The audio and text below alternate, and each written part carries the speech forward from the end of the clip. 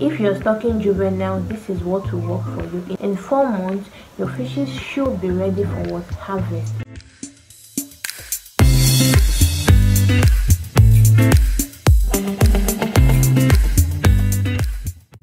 Hey guys, it's me again, Shikemi Olabisi, the farm lady, and you are welcome back to another amazing, interesting, and educative video. Now, how many of you have watched this video? Yes, this one in particular. So, in that video, I was talking about giving your fishes the right feed size. That means giving a particular size of fish right the correct size of feed and that was the hatchery version so basically in that video i talked about different sizes of feed that you should give what your fishes in the hatchery level. Now you should all know that different or the sizes of feed contains different nutritional content right? The inclusion level of these nutrients are at different levels right? So you know at the starter level fries post fries the protein content or the crude protein in these feeds are usually what very high because why? They really really need protein at their stage of their life at that stage of their life. So these feed sizes contain what? Different inclusion level of this what? Nutrients be it protein carbohydrates and every other thing the vitamins and all that okay? So today i'm going to be talking about the grow out version. Yes. This last one was on hatchery feed right? And the fish sizes in the hatchery. So for today we're going to be dealing with grow out. When i say grow out i mean you probably want to raise your fishes from fingerlings or juvenile to melange to table size or to broodstock so if you like to learn all that then you should keep watching this video. Now first up i'm going to be starting with the first size of feed. Now you probably stocked fingerlings or you stocked juveniles right? So i'm going to recommend you starting with 1.5 mm or 1.8 mm depending on the brand of feed you're using. I know there are so many brands that are good out there. So some have it in 1.5 1.7 1.8 so let's assume you stocked fingerlings or juvenile what i'm going to advise or what i usually advise people to do is to start feeding them with a feed that has high crude protein. Because at that stage they are still very little and then they need a lot of protein to grow to give them that you know boost okay? So i'm going to recommend you start with what? 1.5 to 1.8 mm now this is dependent on the type of brand you are going for. We have so many amazing brands and i'm sure you know them already okay? So um you start with 1.5 to 1.8 mm for the first what two weeks. I'm going to be showing a table so you can actually see and understand what i'm saying. So you start with 1.5 mm for the first two weeks in month one all right for the first two weeks in month one. So that is what you are going to give them. Now you know at this stage they are still very little. So that first two weeks giving them that type of feed with high nutritional content or value you will see that boost in their growth. Now for the second two weeks in the first month i'm going to advise you to go forward 2 mm now at this stage the shoulder was grown bigger than what you stocked initially right? So at this stage the shoulder was grown bigger. So i'm going to change the screen again so that you can see. So at this stage they should be around this weight all right so yeah so you give them what?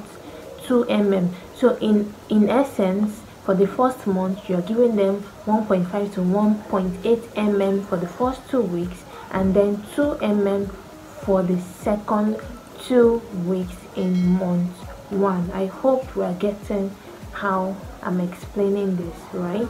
Yes very good. So let's move on to the next size of feed that you should feed your fishes. Now the next size of feed that you should give your fishes is 3 mm remember in month 1 we gave them 1.5 to 2 mm right? Now in month 2 we proceed towards to 3 mm because now they are what? Bigger in size. So i'm going to change the screen so you can see it. So you give them what? 3 mm feed size at month 2 or in month 2 okay? In month 2 you give them this size of feed like i said we have different brands of feed always go for what quality. Quality above quantity always. That is key because when you have quality it's going to save you a whole lot of stress and then it's going to save you time. People always make this mistake of oh this feed is cheaper in price and all that and then they compromise on quality which is not really good at all because basically what you are doing is just extending the production cycle the timeline for your fishes to be ready for harvest. So always go for what? Quality feed. That is the only way this whole timing can work all right so that is that. Let's move on to the next size of feed that you should feed your fishes. Now the next size of feed that you should give your fishes is 4 mm now i know at this stage a whole lot of people are like oh the cost of feed is very high it's expensive. Now at this point you can what? Give your fishes local feed but still do not compromise on quality. I'll always say that don't compromise on quality. They are local feed and they are local feed okay? Quality control is important when it comes to getting your fish the best type of local feed okay? Don't just say oh somebody gave you a certain formula you just go and buy the feed ingredients you grind it you just go to anywhere you just grind it you don't even know what their machines have been used to grind and then you just you know and then you start feeding your fishes and you start having problems so quality is always important. We have so many amazing local feed brands that you can use so at this stage right you have to give them what? This size of feed 4 mm. So month 3 give them what? 4 mm size of feed 4 mm size of feed be it the um, granulated feed or the locally pelletized feed you are good to go all right provided you are not compromising on what? Quality. So that is key that is key. So lastly for month four. Now for month four is dependent on you. You can either choose to give your fishes 6 mm and 9 mm that is splitting the fourth month into two weeks. That means the first two weeks you're giving them 6 mm and then the last two weeks you're doing them 9 mm okay? But you can as well discard using 9 mm you can just go all through 6 mm okay? You can go all through 6 mm so that is just it basically. So at the last month you can give them what? This size of frame. Basically all what i've said is if you're stocking juveniles this is what will work for you. In four months your fishes should be ready for what? Harvest. It shouldn't take forever. And that is why i say when you do not compromise on quality then this whole timing what is achievable it's achievable provided your fishes don't fall sick. Most times the reason why we have elongated um, elongated production cycles that is the time is because of the following that is um, probably the weather. When it's um, very cold you know they don't eat down that much yes. The weather the quality of the feed yes that is true the, water that you're using that is your water management and also other things that um, could affect it is the quantity of the feed you are giving them. So when you're not giving them enough quantity good quality bad water management right? All this would affect the timeline in which what your fishes would be ready. So basically what i'm saying is these are the sizes of feeds you're going to need when you are running a grow out system.